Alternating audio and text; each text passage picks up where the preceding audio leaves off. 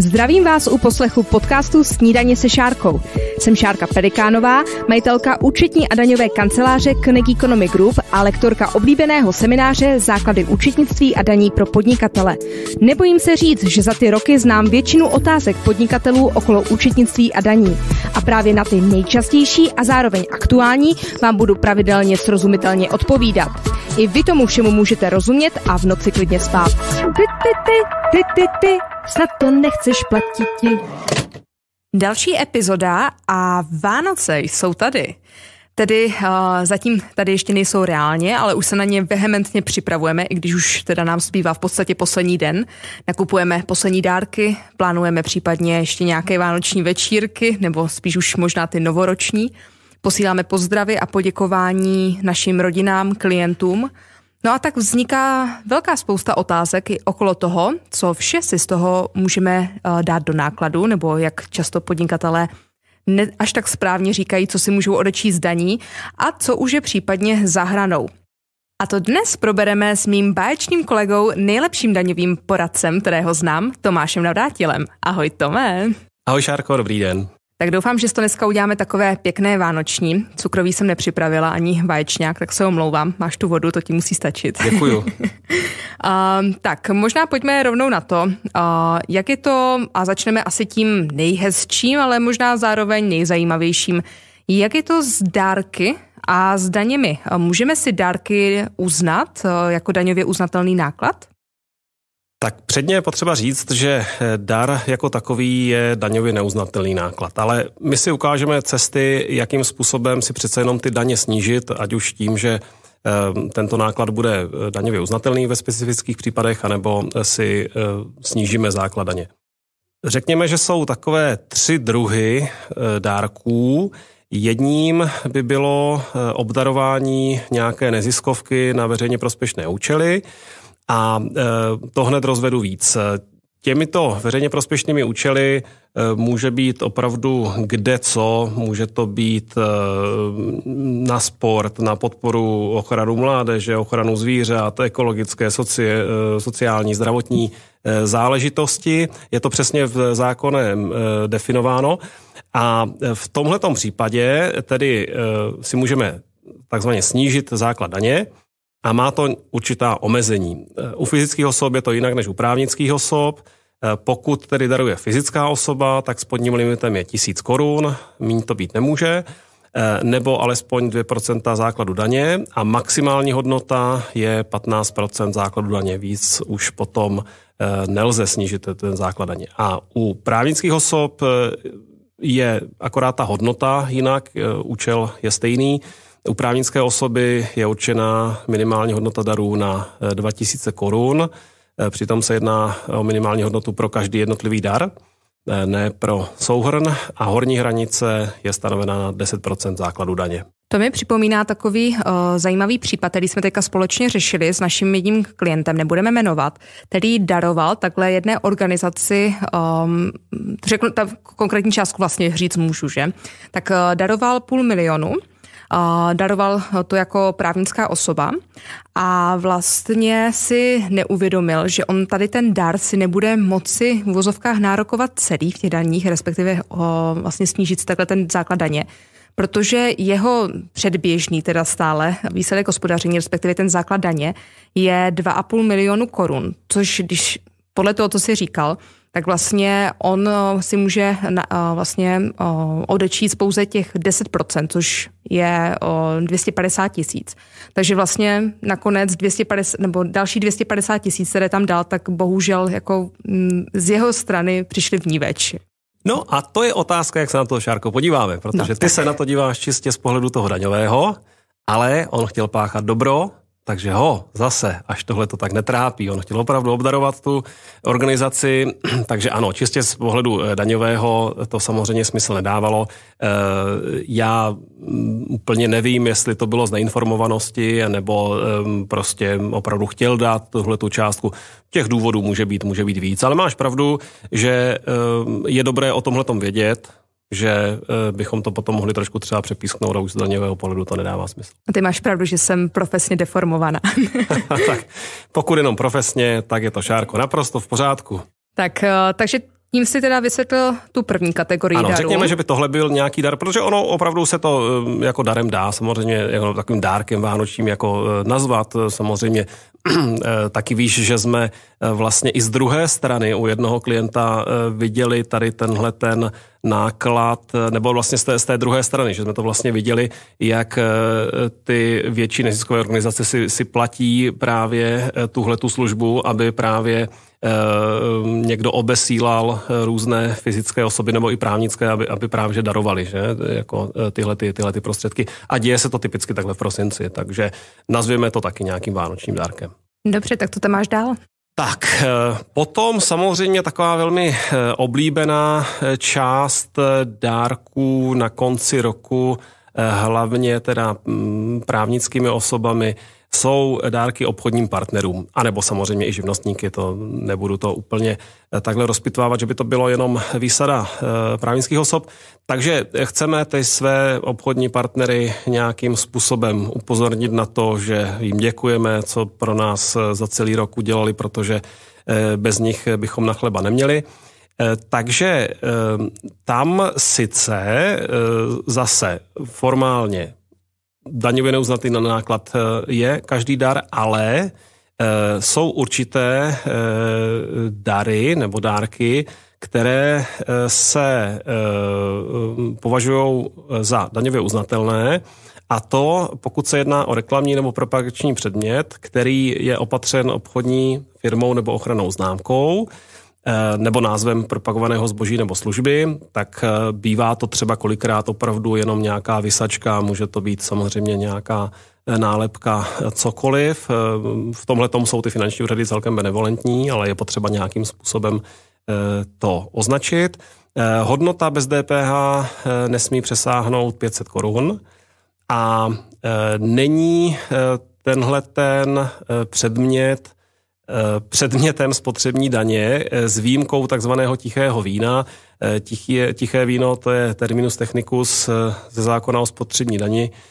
Šumivé víno už není to tiché víno, alkohol taky ne. Takže proto jsou ty láhve vína takové oblíbené, protože to splňuje tuhle tu podmínku, kde potom tyhle ty Eh, náklady tedy jsou daňově uznatelné. Tady možná jenom otázka, kterou často slýchávám. Mám si třeba fotograficky opatřit nějaký důkaz, že opravdu ten dar byl opatřen logem nebo nějakým jiným teda No rozumíš mi, prostě třeba tím logem. Ano, ano. Určitě, určitě ano. Jakákoliv dokumentace je dobrá. Um, dokonce bych eh, třeba uh, takovýhle nějaký jeden výstavní kus archivní třeba měl někde ve skříni a pak ho dal třeba tomu úředníkovi, který přijde jako na tu kontrolu. Ať ochutná. Ať třeba ochutná. Třeba řekne, že nesmí to přijímat, ale aspoň se na to podívá, jak to vypadalo. Uh, takže ano, dokumentovat, dokumentovat, dokumentovat a právě proč říkám tak trošku s nadsázkou mít ten jeden kus pro toho úředníka, protože si na to může rovnou sáhnout, takhle to vidí. Ale pokud aspoň něco, tak fotodokumentace uh, je fajn. Jak jsem říkal, stačí třeba i vysačka, nemusí to být úplně, nemusím mít nějaké náklady na potisk, dá se to opravdu velmi, velmi jednoduše. A Stalo se, stalo se to taky v minulosti, je na to i nějaká judikatura, že se pokoušel ten eh, daňový poplatník to právě tady takhle prokázat trošku jako kostrbatě a neměl úplně všechny ty eh, dokumenty nebo nějakou fotodokumentaci, ale eh, tam to tehdy ten soud zhodil na vůbec procesních záležitostech, protože ten finanční úřad tehdy nevyslechl svědky a, a, svědci jsou taky jako jednou z možností, jak si obstarat z pohledu toho finančního úřadu e, nějaké důkazní prostředky. On to tehdy neudělal a vyloženě na tomhle procesu to ten finanční úřad projel.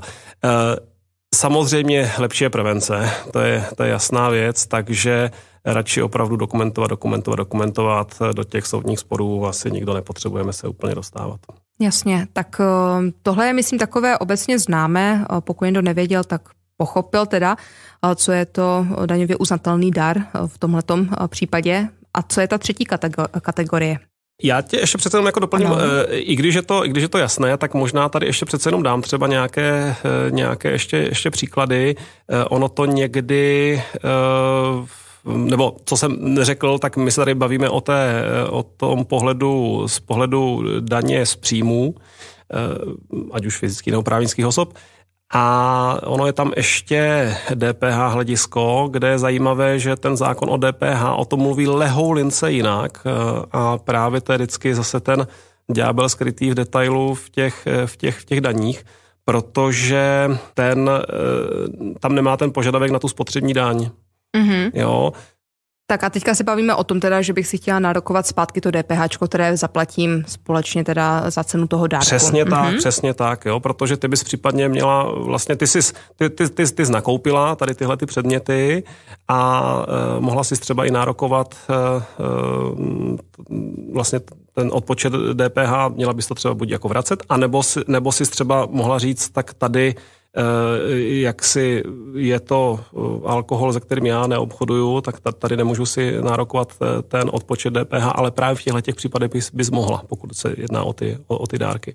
Mm-hmm. Takže pak je třeba rozdíl, pokud máme, řekněme, nějakou parubanku s logem společnosti v hodnotě 550 korun za kus, včetně DPH, tak eh, my jsme si tam říkali o těch pětistech, pětistech korunách, kdyby si řekla, aha, to jsme přes, no nejsme, protože ta částka je tam vydefinovaná eh, bez DPH, takže eh, byl by to daňově uznatelný náklad, protože jsme v částce do 500 bez DPH.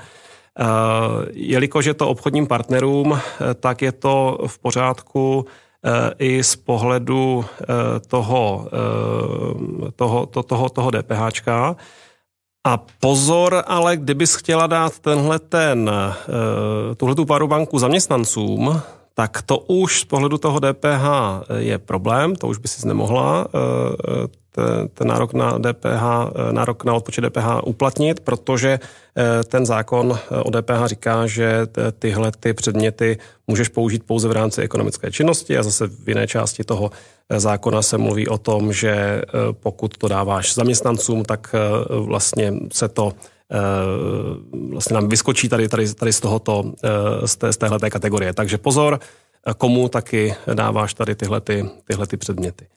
No a ještě bychom třeba mohli mít, ještě bychom mohli mít teda to šumivé víno, s logem společnosti, ale v hodnotě 400 korun za kus bez DPH, tak um, proč o tom mluvím? Eh, my jsme tam mluvili o tom tichém vínu. Z pohledu eh, daně z příjmu je to daňově neuznatelný náklad, ale zajímavé totiž je, že ten zákon o DPH eh, o té spotřební daní nemluví, takže z pohledu nároku na DPH, pokud by zdala obchodním partnerům tohleto šumivé víno, tak je to v pořádku. Zaměstnancům opět bohužel. No a... Já se jenom omlouvám, já Promiň. ti moc děkuju právě, že si tohle to zmínil, protože často, a já to vidím hodně na těch svých seminářích, anebo i když se bavím s podnikateli, tak oni řeknou, že chtějí řešit daně a často ale nedefinují jaké. Oni prostě mají jako daně prostě v úvozovkách nějakém jednom balíčku. A je potřeba si opravdu uvědomit, a tom teď jako spíš apelu na posluchače, že těch daní je tady několik druhů a opravdu každá se řídí podle jiných pravidel. A přesně tohle to je zářný úkaz toho, jak to může fungovat. Přesně to, přesně to říkáš. Já jsem tady takhle eh, včera se taky eh, sešel s kamarádkou a eh, taky mi dávala nějaký daňový dotaz a musel jsem mi tady tohle to vysvětlovat. Já jsem mi to prostě vysvětloval tak, že eh, ona je, eh, ona je OSVČ, je pláce, pláce DPH, dala mi nějakou otázku a teď tam právě, že eh, to DPH nebo jako daň z přidané hodnoty a daň z příjmů vlastně motala dohromady a já jí říkám, na to se musí dívat úplně opravdu zvlášť. To jsou dvě třídy žáků, kteří se opravdu, oni se občas někdy potkají, tak někde jako e, o přestávce a maximálně si vymění svačinu, ale jinak vždycky prostě vstoupíš úplně do jiné třídy a jsou to oddělené e, věci třemi zdmi, takže pozor na to a nemusí vůbec tam k tomu proniku nějakému, nějakému dojít. Já nám ještě úplně poslední příklad, e, abych trošku taky demonstroval, jak je to tady s těmi dárky. Eh, představme si zvýrazňovače bez loga společnosti za 10 korun za kus. Mm-hmm. No, Teda chci dávat dárem. A chceš dávat mm-hmm. dárem, ano, přesně tak, protože seš grant, že jo. To nebudeš dávat za korunu, budeš dávat za 10 korun. Tady tyhle ty dražší. Tak z pohledu eh, daně z příjmů to bude daňově neuznatelný náklad. Proč? Protože tam není logo. Jo? Ale z pohledu DPH eh, by to bylo v pořádku, protože tam požadavek na to logo není v tom zákoně o DPH.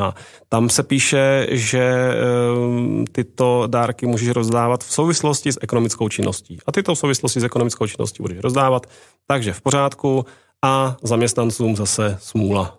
Ať si nakoupí hezky zvýrazněvače sami. Za korunu. Za korunu, přesně. Dobře, máš tam ještě teda třetí o, typ těch dárků. Tak a, e, pokud budeme brát úplně opravdu kategorie těch dárků, tak my jsme si říkali teda těm na ty bohlivé účely, potom obchodním partnerům. A teďka jsme teda u těch zaměstnanců, tak už jsme to tak jako trošku nakousli. Nicméně, e, obecně zase, e, takový dar je daňově neuznatelným nákladem, ovšem, máme eh, některé takové kategorie, kde se zase do toho, do toho můžeme nějakým způsobem vlíst. Ono ještě teď jsme, jako, eh, jsme na, dvou, na dvou stranách toho jako zaměstnavatele a zaměstnance, tak by to u toho zaměstnance mohl být dar takový, který bude muset, nebo tu hodnotu by musel jako zahrnout do svého vyměřovacího základu a ještě Eh, by to byl přesně takový ten danajský dar teda, jo, hmm. dostaneš dárek a ještě si to hezky zdaň, tu hodnotu a odveď sociální zdravotní pojištění, to ti každý rád samozřejmě ještě zatleská, že jo? To určitě, ještě podává daňové přiznání. Tak a ještě, ještě teda z pohledu toho zaměstnavatele nárokované DPH vrátit, perfektní. Dá, dá se dát opravdu dar takový, který jako způsobí spoustu problémů. jako opravdu, opravdu ano. Eh, ale eh, od toho právě taky je taková skupina skupina, eh, které se říká benefity, což je takový ale výraz, který se spíš jako populárně používá, než že by ho znal eh, zákon o eh, dani z příjmů. A různé benefity jsou buď to daňově uznatelným nákladem, anebo daňově neuznatelným, ale aspoň to nedaní ten zaměstnanec. A, právě, a řekněme si, že by to bylo takové nějaké obdarování těch zaměstnanců před koncem, před koncem roku tak eh, tohle je oblast, kterou třeba spoustu těch posluchačů může, může znát, ale my to teda tady takhle jako zopakujeme. Nepeněžité příspěvky eh, na vzdělání, kulturu, sport, zdraví, můžou být nějaké poukázky do divadel, galerií, eh, členství v Eficentru a tak dál oni jsou poskytovány často prostřednictvím nějakých poukázek nebo voucherů, tak eh, toto je sice daňově neuznatelný náklad, ale u zaměstnance je eh, tento příjem osvobozen a zároveň se neodvádí zdravotní a sociální pojištění. Opravdu jich eh, upozornil na tu nepeněžitou formu. Nemůžu ti dát pětistovku a kupsy. Jo, to by, to by bohužel jsme byli mimo tady tenhle ten režim. Podobný režim potom se dá aplikovat taky u úhrad za nějakou nadstandardní zdravotní péči nebo poskytnutí rep, rekreace v nepeněžní formě z horní hranici 20 tisíc korun ročně. No tak sice nevím, kam bys letos vycestovala. Jsou tací, kteří jedou třeba, já nevím, na Zanzibar, že jo, jako jo, ale kolik jich takových je, kolik jich takových znáš, no. No a e, pak jsou e, takové opravdu velmi speciální benefity, které jsou u zaměstnance osvobozené a to je takový eh, jako krásný jako relikt socialismu, to někdy ten zákon zná takové věci, které už jako snad ani nemůžou skoro kolikrát nastat. Pouč mě, já jsem ano. revoluční dítě, tak ano, nevím, ano, co to jsou ty vůbec, socialismu. Ano, ano, tak eh, řekneme ti, jak to, jak to dřív bylo. Musí teda tady takovýhle e, příspěvek jít e, z pohledu toho zaměstnavatele z takzvaně ze sociálních fondů nebo ze zisku po zdanění, anebo teda z daňově neuznatelných eh, nákladů nebo výdajů. A pro toho zaměstnance jsou osvobozené, pokud je to při těchto krásných příležitostech. Tak, buď to za mimořádnou aktivitu ve prospěch zaměstnavatele při poskytnutí osobní pomoci při požáru, živelní události a při jiných mimořádných případech a za aktivitu humanitárního a sociálního charakteru a péči o zaměstnance a jejich rodinné příslušníky. Takže samozřejmě velmi, velmi často tady máme původně, že tak jako eh, jednou za uherský rok, tak eh, potom bys třeba tady takhle by někoho obdarovala tak, že teda se obětoval ve prospěch svého zaměstnavatele, tak si může aspoň osvobodit tady tenhle ten, tenhle ten příjem. Potom při pracovních výročích 20 a každých dalších pět let trvání pracovního poměru. Hmm. Což ale vyžaduje samozřejmě taky si vést podrobné e, informace a za těch 20 let nevyhodit e, informaci o tom, že z toho zaměstnance přijala. A potom při životních výročích 50 let a každých dalších pět let věku. Pozor, maximálně 2000 korun za rok. Tak to je krásné. Že? No, nádhera, nádhera. na jubileum. Nádhera. Tak eh, my jsme se vlastně dotýkali, ale i tady těch eh, benefitů v jednom z naší, eh, jedné z našich epizod podcastu. Tuším, že to bylo dokonce s kolegou Filipem, s novým specialistou, kde jsme to probírali trošku blíže a tam jsme si i dávali ty různé zajímavé, to si vlastně pamatuju, zajímavé ukázky toho, jakým způsobem, jaké, jaké, jaké různé benefity vlastně můžeme našim zaměstnancům poskytovat.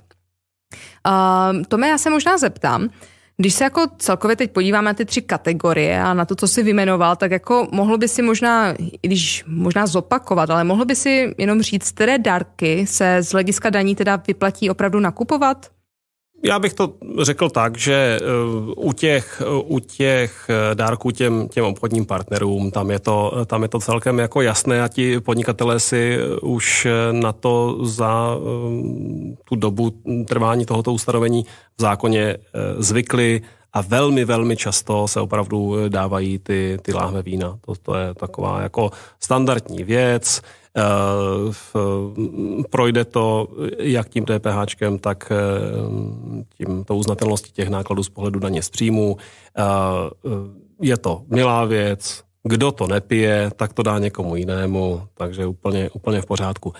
No a těm, těm zaměstnancům, tam bych nedával nějakou univerzální asi radu, tam je potřeba jako znát trošičku ty svoje zaměstnance, znát ty svoje Eh, možnosti i, i ty, ty benefity, které jsem schopen nějakým způsobem eh, nabízet eh, a které chci a které můžu, můžu nabízet. A zase je taky potřeba se na to dívat tak, já se s tím někdy setkávám, že to někdy bývá až taková opravdu jako honba za snížením základu daně, ale ono to ekonomicky až pak kolikrát nedává smysl. Takže zase taky nějak rozumně Eh, vyhazovat eh, ty peníze jenom tak jako oknem, obzvlášť pokud je to zaměstnancům. Trošku bych se nad tím jako zamýšlel, jestli vůbec eh, ti zaměstnanci to, to, to docení. Takže tady už zase jdeme trošku do jiných jako sfér. Myslím si, že jsme jako popsali ty mantinely a že bych tam apeloval na nějaký jako rozum a účelnost vynaložení těch nákladů. Jasně, a když jsme u toho rozumu, tak vzpomeneš si třeba na nějaký příklad uh, zajímavého dárku, který se snažil klient uh, vecpat takzvaně do svého daňového přiznání a úplně to třeba nedávalo smysl. Já bych na to odpověděl tak, že uh, jeden takový příklad bych měl, kde to, uh, ty jsi říkala, nedávalo to smysl a ono to nedávalo smysl tomu finančnímu úřadu. Mm-hmm. A e, bylo to tak, že společnost, která poskytovala opravárenské služby, opravovala auta, poskytovala svým zákazníkům jako bonus dálniční známky a poukázky na pohonné hmoty. A došlo to až k nejvyššímu správnímu soudu.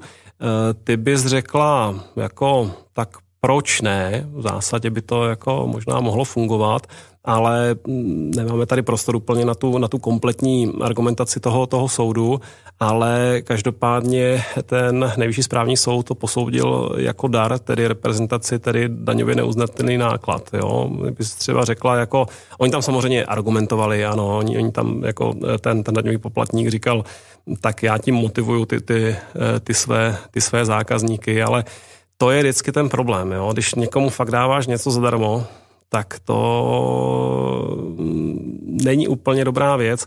Proto eh, ne náhodou můžeš i Eh, ta argumentace je, řekněme, podobná, nebudu zase zacházet do, eh, do podrobností, eh, vydáš v obchodech jedna plus jedna zdarma, mm-hmm. jo, ale je to tak, že s, ty tam potom na té účtence uvidíš, že ta druhá věc je za korunu, že není úplně zdarma, jo. Má, má to v zásadě i tady tyhle ty, ty, ty, ty, ty, ty daňové, daňové dopady. Takže to, co se efektivně tváří jako jedna plus jedna zdarma, tak to vlastně takhle není A jak si říkáme kolikrát, že ten finanční úřad se na to musí dívat ne tou formalistickou, eh, tím formalistickým úhlem pohledu nebo optikou, Eh, tak eh, někdy možná trošku překvapivě to dokáže jako zachránit tu situaci. Takže tady, když se k tomu vrátím, tady to bylo prostě posouzeno jako dar a eh, ne něco, co by mohlo být považováno za daňově uznatelný náklad v, v tom smyslu, že prostě motivuju toho svého zákazníka. Mm-hmm, rozumím. No tak každopádně, eh, dárky tedy máme připraveny, polepeny logy nebo vysačkami a teď je potřeba naplánovat ten vánoční večírek, že teda už se střejmě naplánovali, když tento rok to bylo asi takové všechno v online světě, uh, tak pojďme třeba naplánovat nějaký novoroční večírek, jo. Um, jak je to tedy s nimi? Eh, je možné ty náklady, které na ten večírek vynaložím, ať už na nějakou organizaci, na catering, co tam můžou být balonky, a, tak můžu si uznat v rámci o, svých daní? Hostesky nebo stripterky, no jasně. Stripterky, uh, tak, uh, nikdy. Ty, ty nemůžou být na vánoční večírku nikdy. No, uh, mimo to, že nejlepší vánoční večírky bývají v lednu, v únoru, protože je klid, už, už všichni uh, jsou na to uh, spíš líp naladění, takže přesně řekněme si, řekněme si to takhle, takhle obecně. Uh, ne každý ten náklad, který tam vynaložím, může být daňově uznatelný na takovouhle akci a je dobré si od toho organizátora nechat eh, položkově vypsat, co se tam vlastně jako všechno dělo. Protože eh, pokud bych tam měl eh, opravdu jednorázovou položku, nevím, uspořádání vánočního večírku, tak já bych se opravdu bál to použít jako daňově uznatelný náklad, pokud bych k tomu neměl nějaký další detail. Jak jsme si už několikrát říkali, říkali to takzvané důkazní břemeno leží na tom poplatníkovi, takže ten má prokázat. A pokud nebudu moct eh, určit, eh, co eh, na kterou položku bylo vynaloženo, tak si dokážu krásně představit tu argumentaci toho správce daně, který říká, neprokázali jste, vyhodíme vám všechno. A on totiž bude mít eh, co dělat eh, v ten moment eh, té kontroly ze strany finančního úřadu to nějakým způsobem prokazovat. Takže zavčasu bych nechal zdokumentovat, jaká část šla na občerstvení, mm-hmm. to je automaticky na něj neuznatelný náklad, reprezentace, hotovo to bych opravdu musel být ten, jako já bych mohl mít občerstvení jako daňově uznatelný náklad, ale to spíš, kdybych byl právě, že ta eventová agentura, která nakoupí, prodá, jo, tak ta to samozřejmě přeprodává. Ale bavíme se vyloženě o tom koncovém uživateli, který to skonzumuje, reprezentace, uh, hotovo, neuznatelný náklad. Pokud by uh, tahle ta akce byla součástí nějakého školení, u vánočního večírku, no, ale třeba, kdo ví, může být, třeba. jako hmm. ještě je eh, k něčemu proti jejich vůli vzdělám, tak eh, související náklady na to školení by samozřejmě byly daňově uznatelné. Eh, náklady, ať už na nějaké lektory, možná nějaká poměrná část nájemného a tak dál.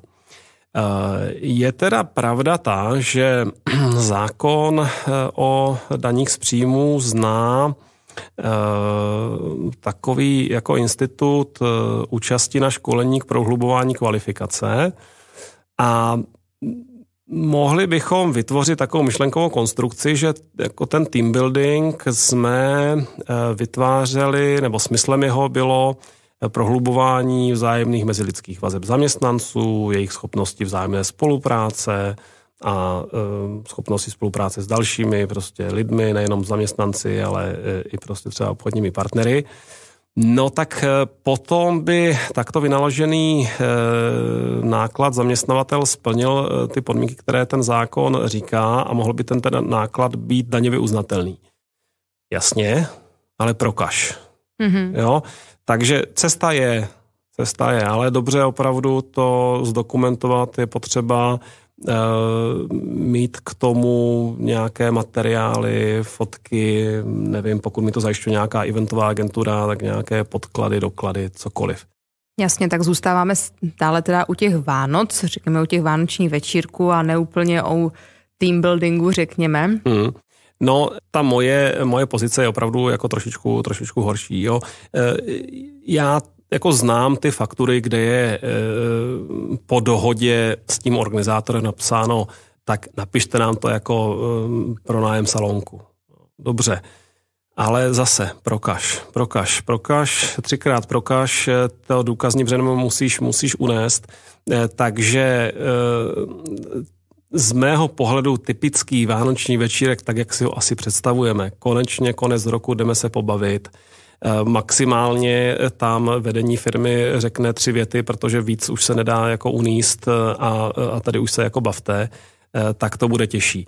Může ale být ten program. Může, může tam být jako takový program e, i třeba jako sportovní, který by byl nějakou stmelovací a aspoň trošku by to nějakým způsobem skutečně ty, ty vazby tam mělo posilovat e, a tak dál. Takže tu část bych tam třeba si dokázal v některých případech jako představit.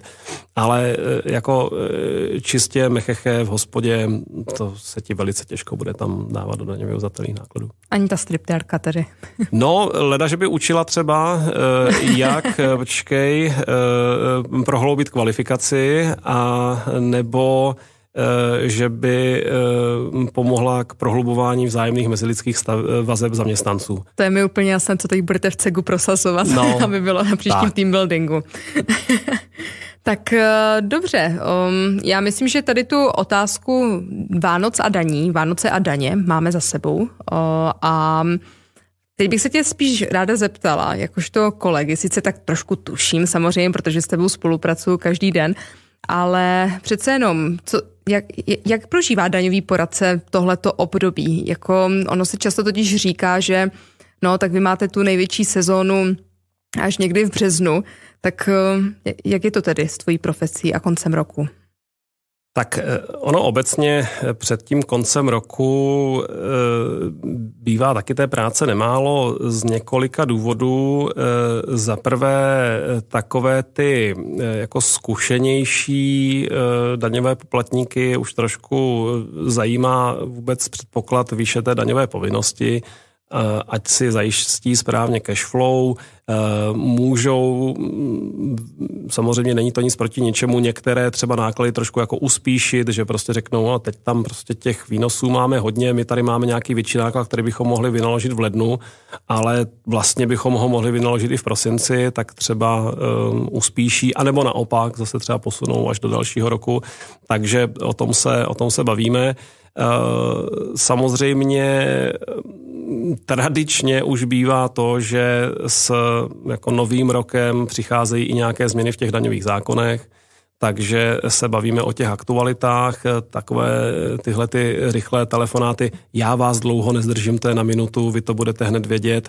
Klasika. Já jenom potřebuju vědět, jak se to jako bude měnit a co to pro mě bude znamenat, tak těch samozřejmě je několik a e, nám se tam těžko odpovídá v tom smyslu, že Eh, ještě se třeba něco schvaluje, nejsou jasné ty výklady. Eh, takhle to bylo zamýšleno, ale samozřejmě nemůžeme vyloučit nějaký jiný výklad. Takže téhle té práce je dost. No, ono, čert a finanční úřad nikdy nespí, takže tím pádem i my musíme být pořád ve střehu, Vánoce, nevánoce, nebo bez ohledu na nějaké roční období.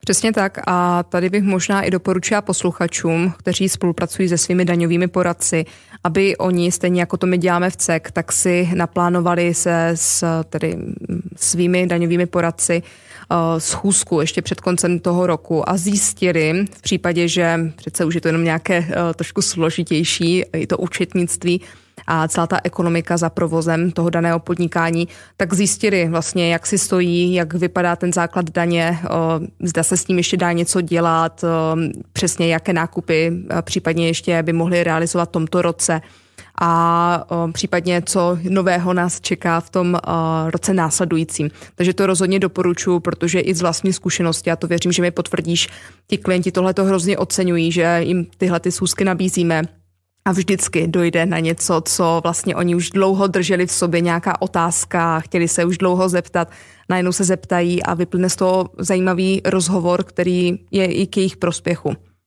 Je to přesně tak, možná je to dáno nějakou naší českou mentalitou, že se třeba bojíme zeptat, tak čekáme, až se nás někdo jako zeptá a je pravda, že potom ti klienti jsou rádi. Takže eh, přesně, ať už má kdokoliv eh, jakéhokoliv eh, účetního nebo daňového poradce, nebo třeba s ním ani nespolupracuje ještě, ale má třeba někde něko, nějakého takového známého, radši se ptát zavčas určitě, protože ještě do toho konce roku se dá něco zachránit Eh, pokud se bavíme o tom, o tom daném běžném roku, v tom dalším, to už jsme opravdu na hraně nějakých nekalostí. Přesně tak a to my nedoporučujeme. No každopádně, možná ještě posluchači, eh, ti z vás, kteří jste pláci DPH, tak eh, za pár dní pro nás ještě vlastně opravdu ta sezona nekončí, protože za pár dní je termín k podání DPH za listopad. Takže možná jenom pro vás výzva, jestli jste ještě doteď nepodali svým účetním a daňovým poradcům podklady pro zpracování listopadového DPH, tak je opravdu ten poslední čas, kdy to dodat, ať máme aspoň nějaké volno. No mi to každopádně přijde, Tome, že naše sezona nikdy nekončí, že to není tak jenom, že jedeme prostě někdy, nebo že ten největší firmol je v tom březnu, ale mi to přijde, že my se v podstatě během celého toho roku nezastavíme. A když se jako podívám zpětně za tímto rokem, tak eh, si myslím, že jsme udělali velký kus práce, protože v lednu začaly teda, eh, začala sezona daňových přiznání, která teda nakonec skončila až v září tento rok a do toho ještě byly všechny ty o, různé legislativní změny a vládní opatření ohledně covidu a mně to přijde jako, že tento rok jsme odpracovali tak za tři další. Je to tak. Eh, myslím si, že teda to, že to bylo, to, ten termín, že byl 18. srpna, jestli se nemýlím těch, těch, těch přiznání, ale už se mi to taky motá. Myslím, že tady takhle to bylo, ne? Ale je, srpen to byl, pardon, srpen, srpen a září byly přehledy, srpna. jasně. Jo. A, ano, a ještě tady takhle to nebylo právě, že vlastně sjednocené ty, eh, ty, ty, ty data všech těch různých povinností, takže letos to bylo hodně atypické, to je, to je pravda. Každopádně tento rok končí. Doufám, že příští bude trošku, trošku uh, snadnější pro nás všechny a snad i veselější a bez různých koron a podobně. Uvidíme. Já ti každopádně Tome moc děkuji za úžasnou spolupráci v rámci tohoto roku, tady u mikrofonu, tady v rámci podcastu Snídaně se Šárkou. I z těch zpětných vazeb od diváků vím, že si přinesl mnoho užitečného tady do éteru a přeji samozřejmě nejenom tobě, ale i zbylým posluchačům šťastné a veselé. Děkuji, bylo mi potěšením. No a pokud jste, milí posluchači, měli ještě nějaké dotazy, tak určitě se můžete obrátit na mě nebo na Tomáše nebo na někoho z mých kolegů. Stačí nás kontaktovat přes náš web www.connectgroup.cz nebo si mm, rovnou můžete, vlastně na těch webovkách si můžete rovnou i domluvit případně termín konzultace s Tomášem, naší hlavní účetní, anebo přímo se mnou. No a Samozřejmě vám, jak jsem už říkala, přeji pevné zdraví a budu se těšit na další podcast, na další epizodu Snídaně se Šárkou společně s vámi. Tak čau!